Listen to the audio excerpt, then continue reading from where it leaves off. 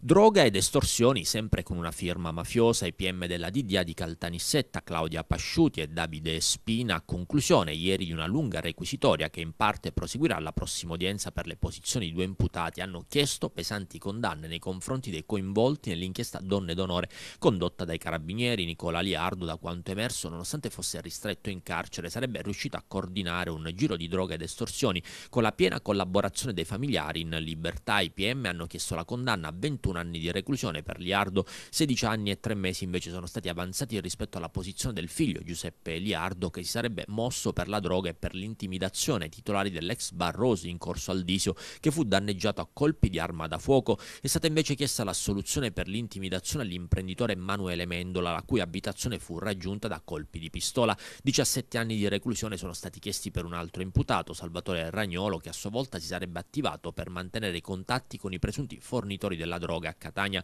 Tre anni e tre mesi di detenzione la richiesta formulata per Carmelo Martinez, anche lui accusato dell'intimidazione agli ex titolari del bar di Corso Aldisio, così come per Giuseppe Liardo è stata chiesta invece l'assoluzione per gli spari contro l'abitazione di Mendola, non sono emersi elementi certi per attribuirgli responsabilità. Otto anni è la richiesta delineata per la posizione processuale di Giuseppe Maganuco, ritenuto coinvolto nei fatti collegati al bar. La soluzione invece è stata chiesta per Calogero Greco, nel corso della prossima udienza invece verranno definite le conclusioni conclusioni per altri due imputati. Si tratta di Monia Greco, moglie di Nicola Liardo e della figlia Dorotea Liardo, in base a quanto emerso si sarebbero messe a disposizione sapendo del giro di droga.